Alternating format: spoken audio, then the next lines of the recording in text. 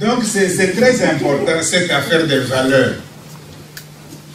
Si vous n'avez pas vous-même vos valeurs, vos éthiques, vos religions, vos théologies, vos spiritualités, le monde étant ce qu'il est, comme global ou mondial, on sera dedans.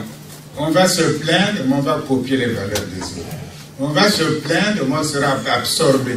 On va se plaindre et puis on sera absorbé, absorbé. Une fois absorbé, psychologiquement, spirituellement, culturellement, euh, que, vous, que pouvez-vous faire d'autre si votre vision du monde est celle comme celle de Bouche Si votre valeur, l'existence a un sens pour vous, comme elle a un sens exactement comme pour, euh, pour n'importe quel... Là, il n'y a plus d'Afrique. Oui, oui. On tue, l'Afrique n'existe plus. Il n'y a plus que les cartes ethnographiques et qu'on lit que les de ceci ou cela, qu'on appelait Dieu Nzambi, Yame ou Rock, bon, ça c'est des souvenirs ethnographiques. C'est important. Vous êtes l'état-major de l'Afrique, l'Afrique n'a pas d'autres garçons et filles que vous, ben, il faut réfléchir sur la carte spirituelle de l'Afrique, la carte religieuse de l'Afrique, la carte des valeurs africaines, la carte euh, des croyances, appelez ça comme vous voulez, africaines. Sinon, l'islam, voilà, c'est tout le nord, tout le continent. Et Kadhafi est très offensif. Et le sud, c'est toute une variété de protestantisme et de chrétienté, enfin de catholicisme. C'est même pas.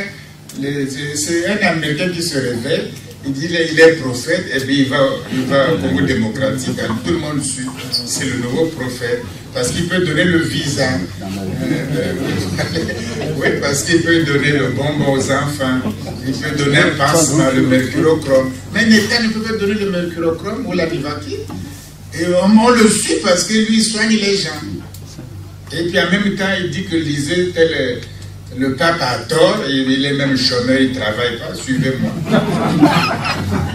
Et les gens le suivent. Et puis quand ils suivent, dit que moi-même j'ai mon rêve, je fais ma propre religion, il met son grand boubou, il parle sur la place publique et tout le monde suit devant la misère.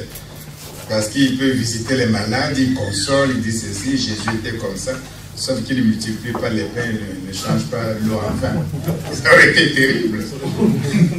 Ils seraient tous sous s'ils changeaient l'eau en vin. Heureusement qu'il ne change pas leur enfant. Voilà, c'est très important. La carte, elle est humaine.